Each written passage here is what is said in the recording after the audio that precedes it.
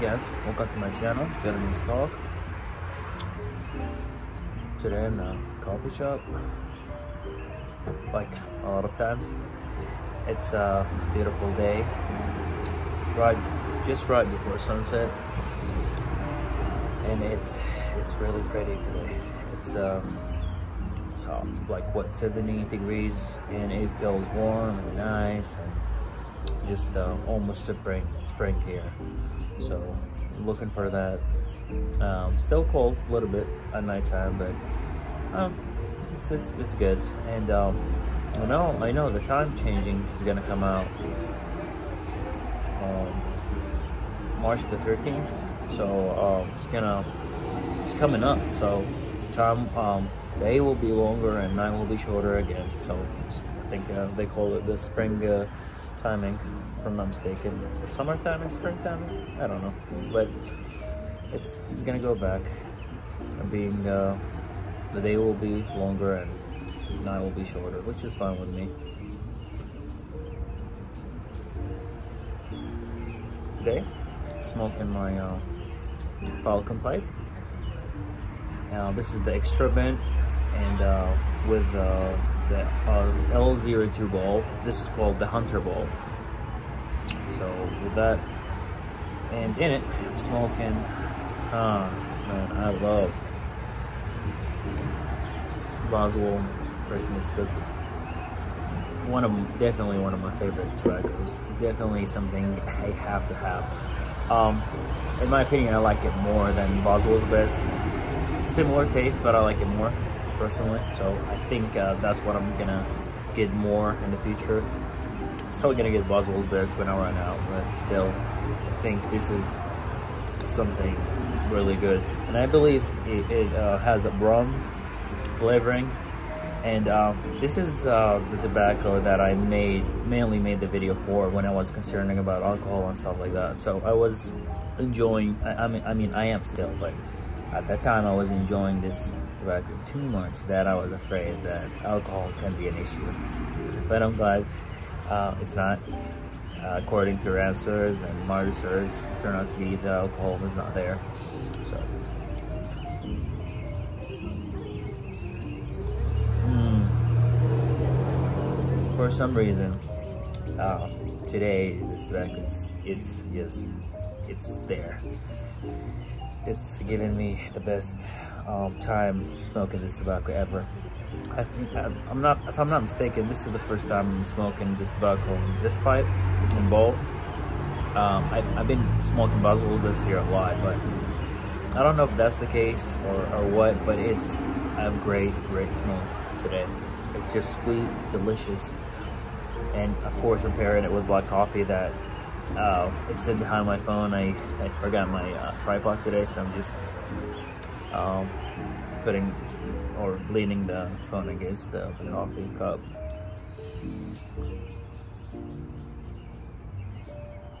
I wanted to uh, get the Meerschaum bowl for this, and I uh, think that's gonna be my next move. I really want the Meerschaum one, so looking forward to that. So, the YTPC, pipe smoking community, or YouTube pipe smoking community it's something great and it's something beautiful and I'm glad it's, it's there. And I'm glad I'm, I've been uh, uh, part of it since day one and I'm glad I'm presenting because it's something I really enjoy to do and it's fun.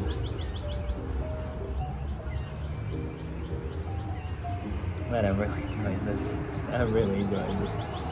Um, so YTPC there are two kind of people in here presenters and non-presenters, or audience, let's call them. And uh, the, the people who present, I also um, put them in two categories. Uh, people who present uh, information so that they teach you how to smoke a pipe. They uh, uh, give you information about how this, how to do this, how to do that, and also pipe reviews and tobacco reviews and uh, if I'm not mistaken, like they their main uh, content is just to deliver a message and that's it. And uh, the other group is people who just like me, who love to uh, just turn on the camera, start talking, and I'm I guess and also many of us. Um, just turn on the camera, start talking, and just share whatever information they have, or they just want to talk about life, and they find something interesting that they want to share with you. So, in, in summary, like these people, they just come here to talk and chat, and this is why uh, what I'm considering myself. Uh, I'm considering myself one of these uh, people, and, and this I, I will fit in this group.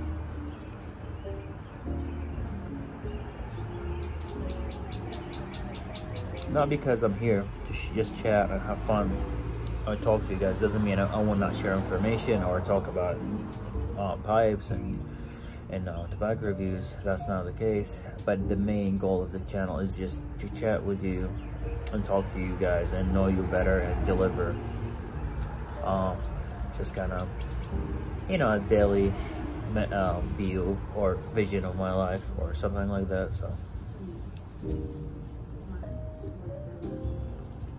So as soon as I picked my first pipe and then decided to um, smoke it, I went to YouTube, YTPC. This is how I learned how to pack my tobacco in the pipe and um, how to light it and how to do this and how to do that. And of course, I start watching Mutton Chop the Piper, Mutton Chop Piper.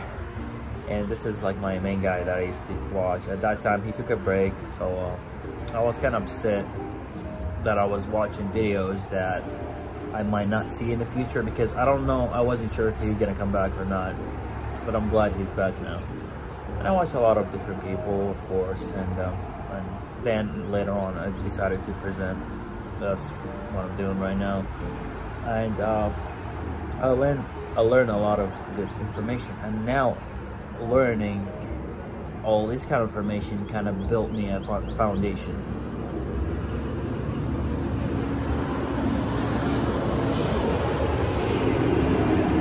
foundation is really great for me to start to start my journey. Um, my journey started a year and almost year and a half ago, and since then I just enjoying every single day I'm I'm smoking, and uh, I'm just enjoying the whole journey. And uh, I make this video for for uh, for a reason. Um, this is my way what I've been doing and I just thought to share it with you guys and see maybe someone is sharing the same path with me or someone doing different uh, walking a different path. I'm just sharing my path and this is just my opinion okay? So starting watching YouTube's uh, YTPC videos and building the foundation of, of uh, pipe smoking and all that and uh, after that um, i just you know naturally i found myself just practicing doing a lot of different things. Like uh, i know some people will, when they learn something they just go with uh, whatever they learn. Um, i felt the opposite. Not just on uh, pipe smoking and tobacco smoking no. It's just something I, i've been doing since i was a kid everything someone told me something, uh, I will accept it, um, respectfully accept it, even if I know 100% is wrong or I have a different opinion about it, I still accept it, I listen and I smile and I will just take it as an opinion.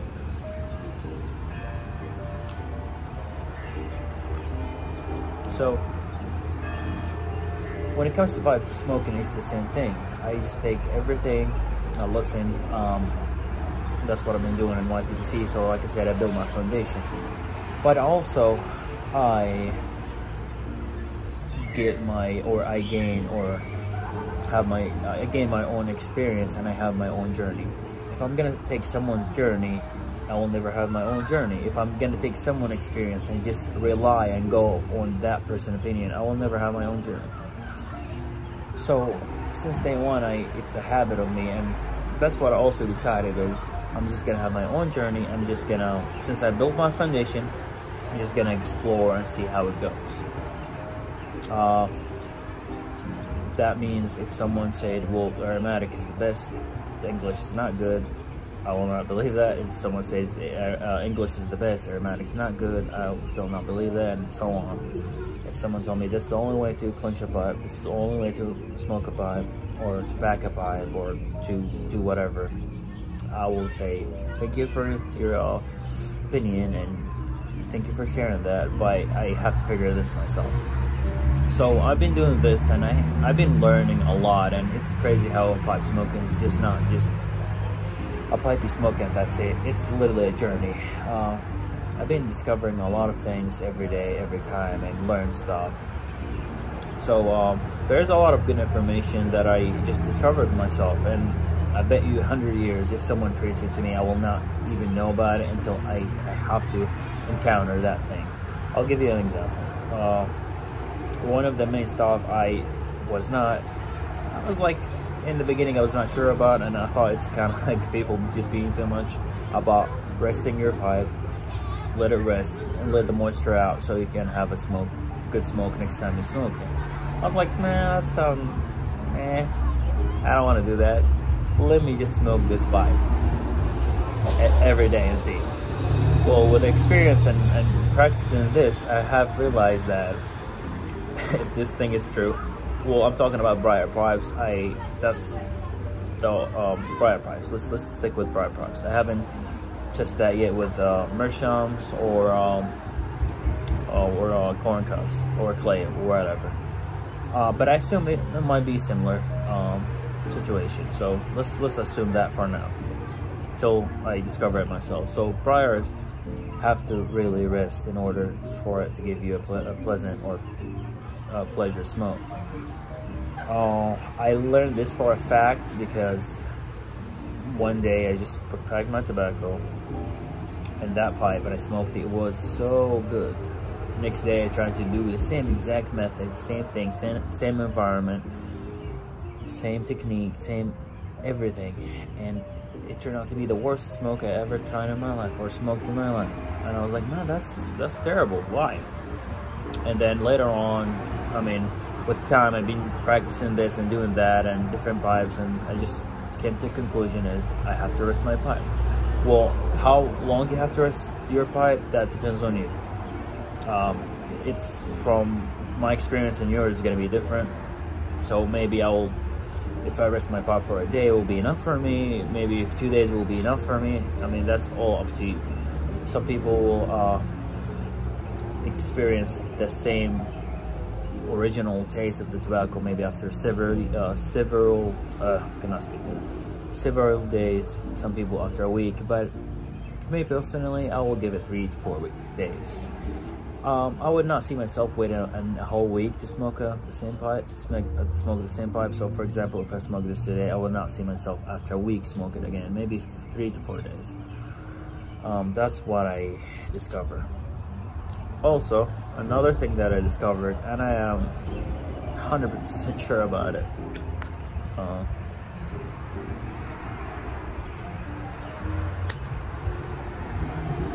I don't smoke the same pipe twice. Well, because, not because I'm picky about it, because for real, it's not the same taste. It's not the same smoke. Even though I clean my pipe after every single smoke, I, I switch my filters. I, um, I use two um I used to kind of two two uh, pipe filters. I use the soft one and uh, one has uh, kind of I don't know forget the name of it, but the one has like kind of harsh uh, texture to it that it's like a brush. So I use two, sometimes more than that if I need to, but I don't I don't see myself use more than that. One uh, to clean um, the pipe and then one to just kind of take the moisture out and same thing for the stem. Um, so I, I use this every single smoke. After a smoke, I let it rest, take the pipe, uh, take the pipe apart, clean it, throw the filter out because filters are so uh, cheap to get. It's so easy to switch. Same thing for pipe cleaner. I just use them. Does not mean I'm gonna use five, ten pipe cleaners because they're cheap or filters. No, I will just be reasonable with it. So two to three is enough but yeah, I mean, I tried to, uh, I did this, I cleaned my pipe, and after a few hours, I decided to smoke it again with the same tobacco. Like I said, on briars, did not work for me. It was uh, terrible. All it tastes is like burnt tar, smoke, not smoke, but it's like the, you know, like when you smoke your tobacco all the way to the bottom, you know that taste. That's what I get most of the bowl. So I was, I just ended up not even finish the bowl.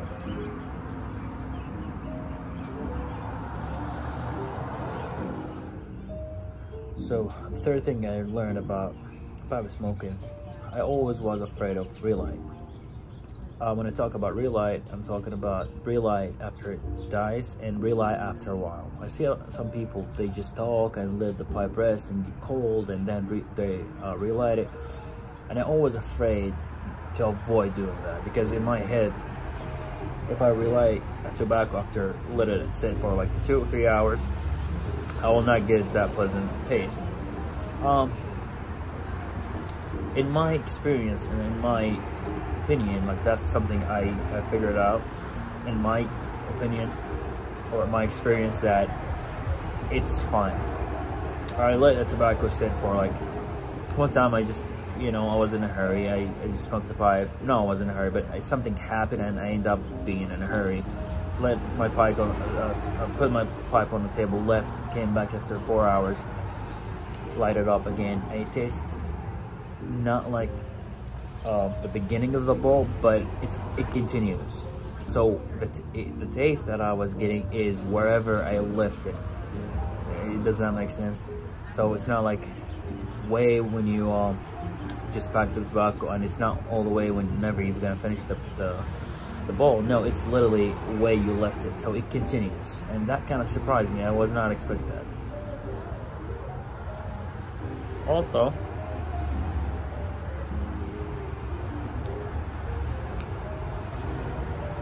something I learned is uh, um, something I really learned and I, it was really a big deal for me is how how um, how you light your pipe. You light it like with just matches. You light it with jet uh, lighter, which is, uh, in my opinion, that's kind of silly, and I will never do that. Even if I'm in winter situation, I'll just use Zippos. I will never use that on my pipes for many reasons. First of all, I respect my pipes. I don't want to burn them. I really respect this piece of art. I'm not gonna ruin my piece of art or disrespected it by shooting flames that literally can burn the, the ball within like a few seconds. And to me, that's kind of disrespectful and I don't like to see it. I mean, you do you, you do whatever you want. I'm not gonna judge you, but that's my opinion about my stuff. So if you use that, you will just gonna burn the tobacco and you're gonna get this different taste versus if you just gonna use hemp um, wick or like a lighter or a match. You get softer or the real taste of the tobacco, in my opinion. Um, the easier you light the pipe or the tobacco, the ease, the, the more of the flavor you get. In my experience, that's what I've been uh, discovering. Uh, especially with Virginias, I will never like have. So I'm all. I understand about you have to get the amber going and all that, but that's in my opinion is not the case. As long as the tobacco is going for me, I don't have to have the amber. I because I always can rely. So why I'm gonna force burning the tobacco since the beginning. I just just take it take it easy, take my time, and I just do it, you know, with time. Especially with Virginias. And this is why. Um, also, this is why I hated Virginias in the beginning because I was, I was getting dark. Let me adjust this. Hold on. There you go. This is how, how why I hated Virginias in the beginning because it was so. Um, it was so harsh and I all I'm getting is this burn taste of the tobacco because I was just making sure the amber is going and I end up just burning tobacco and all this smoke is just just uh you know just burnt tobacco so I, I figured that every time I take my time and just light up the tobacco easily and soft and I take my time because I'm not in a hurry I'm here to smoke to relax and enjoy I don't have to make the bowl flaming hot in order for me to smoke it. And also notice when you make that bowl uh, or you light the tobacco more and make it hotter and get that amber going, especially with burleys, you get that nut nuttiness or the nut taste of the tobacco. So if that's what you want to taste, go for it.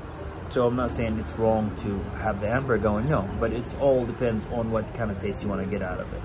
I notice, like I said, with aromatics and Virginias, when I do light, light burn, I get more of the taste of the tobacco. With burley, kind of like same idea, but also it's more forgiving because uh, I still, regardless, I still get that nuttiness or the nut taste of the tobacco. And so when you have it, the amber is going hot, you still got, you still, you still get this taste, but it's like uh, double the, the uh, like plus two, like not plus two, uh, multiply by two. So that's that's uh, something I discovered. Uh, your experience could be 100% uh, different than me. So that's I'm sharing you my experience, and maybe someone will have similar experience. Maybe we'll have some. Maybe some people will have different ones. Who knows? But that's fine, and uh, I thought to share it with you guys.